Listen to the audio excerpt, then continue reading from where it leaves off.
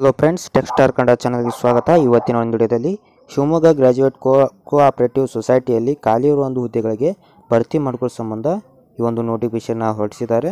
ಇದರಲ್ಲಿ ಏನೇನಿದೆ ಮತ್ತು ಏನೇನು ಡೀಟೇಲ್ ಬೇಕು ಅದನ್ನೆಲ್ಲನೂ ನಾನು ನಿಮಗೆ ಈ ಒಂದು ವಿಡಿಯೋದಲ್ಲಿ ತಿಳಿಸ್ಕೊಡ್ತೀನಿ. ಆದ್ದರಿಂದ ವಿಡಿಯೋನ ಕೊನೆ ತನಕ ನೋಡಿ ಮತ್ತು ಚಾನಲ್ಗೆ ಇನ್ನೂ ನೀವು ಸಬ್ಸ್ಕ್ರೈಬ್ ಆಗಿಲ್ಲ ಅಂದರೆ ಈ ಕೂಡಲೇ ಸಬ್ಸ್ಕ್ರೈಬ್ ಆಗಿ.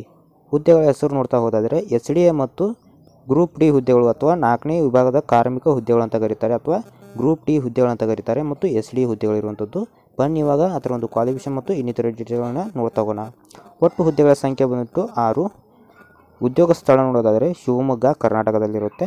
ಪೋಸ್ಟ್ ಹೆಸರು ಎಸ್ ಡಿ ಎ ಮತ್ತು ನಾಲ್ಕನೇ ವಿಭಾಗದ ಕಾರ್ಮಿಕರು ಅಂದರೆ ಎಸ್ ಡಿ ಅಂದರೆ ದ್ವಿತೀಯ ದರ್ಜೆ ಸಹಾಯಕರು ಮತ್ತು ಗ್ರೂಪ್ ಡಿ ನೌಕರರು ಅಂತ ಬರ್ತಾರೆ ಅಥವಾ ಕಾರ್ಮಿಕರು ಅಂತ ಬರ್ತಾರೆ. ಸಂಬಳ ನೋಡೋದಾದರೆ ಇಲ್ಲಿ ಅದನ್ನು ಪೋಸ್ಟ್ ವೈಸ್ ನೋಡ್ತಾ ಹೋಗೋಣ. ಆಮೇಲೆ ಇವಾಗ ಎರಡನೇ ವಿಭಾಗ ಸಹಾಯಕ ಅಂದರೆ ದ್ವಿತೀಯ ದರ್ಜೆ ಸಹಾಯಕರಿಗೆ ನಾಲ್ಕು ಪೋಸ್ಟ್ ಇರುವಂಥದ್ದು ಇದಕ್ಕೆ ಅರ್ಹತೆ ನೋಡೋದಾದರೆ ಪದವಿಯನ್ನು ಮುಗಿಸಿರ್ಬೇಕಾಗುತ್ತೆ. ಪದವಿಯನ್ನು ನೀವು ಯಾವುದ್ರಲ್ಲಿ ಮುಗಿಸಿರ್ಬೇಕಂತ ಇದೆ ಹೇಳಿದ್ದಾರೆ ನೋಡಿದಿ ಬಿ ಕಾಮ್ ಮುಗಿಸಿದ್ರೆ ಸಾಕು, ಅರ್ಜಿಯನ್ನು ಹಾಕ್ಬೋದು. ಬಿ ಬಿ ಎಂ ಮಾಡಿಸಿದ್ರು ಸಾಕು, ಅರ್ಜಿಯನ್ನು ಹಾಕ್ಬೋದು.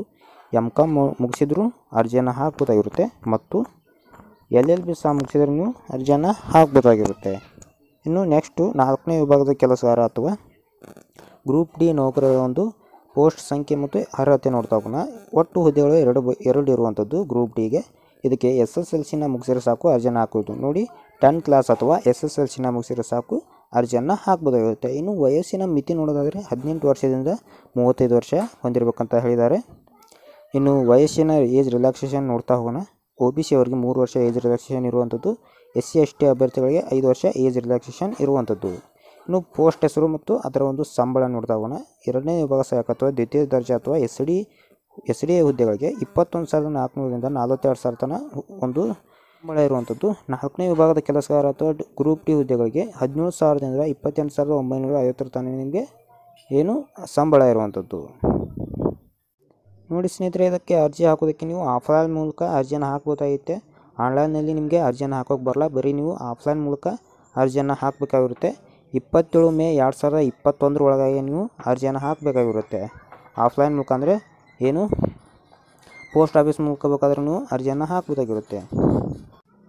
ನೋಡಿ ಸ್ನೇಹಿತರೆ, ಕೊನೆಯ ದಿನಾಂಕ ನಿಮಗೆ ಇಪ್ಪತ್ತೇಳು ಮೇ ಎರಡು ಸಾವಿರದ ಇಪ್ಪತ್ತೊಂದಾಗಿರುತ್ತೆ. ನಿಮಗೆ ಇನ್ನೂ ಹೆಚ್ಚಿನ ವಿವರ ಬೇಕಂದರೆ ಇಲ್ಲಿ ಹೆಚ್ಚಿನ ವಿವರವಾಗಿ ದೂರ ದೂರವಾಣಿ ಸಂಖ್ಯೆ ಕೊಟ್ಟಿದ್ದಾರೆ. ಅದರ ಮೂಲಕ ನೀವು ಫೋನ್ ಮಾಡಿ ಕೇಳ್ಬೋದು ಅಥವಾ ಇಮೇಲ್ ಸಹ ಇಲ್ಲಿ ಇದೆ. ಗ್ರ್ಯಾಜು nineteen seventy one at Gmail dot com ಅಂತ ಇದಕ್ಕೆ ನೀವು ಮೇಲ್ ಮಾಡಿ ಸಹ ಕೇಳ್ಬೋದಾಗಿರುತ್ತೆ. ಫ್ರೆಂಡ್ಸ್, ಇದೊಂದು ಎಸ್ ಡಿ ಎಂ ಮತ್ತು ಗ್ರೂಪ್ ಡಿ ಹುದ್ದೆಗಳೊಂದು ಮಾಹಿತಿ. ಈ ವಿಡಿಯೋ ನಿಮಗೆ ಹೆಲ್ಪ್ಫುಲ್ ಆಗಿದೆ ಅನ್ಕೋತೀನಿ. ಹೆಲ್ಪ್ಫುಲ್ ಆಗಿದ್ರೆ ಲೈಕ್ ಮಾಡಿ ಅಂತ ಹೇಳ್ತಾ ವಿಡಿಯೋನ ಮುಗಿಸೋಣ. ಜೈ ಹಿಂದ್, ಜೈ ಕರ್ನಾಟಕ.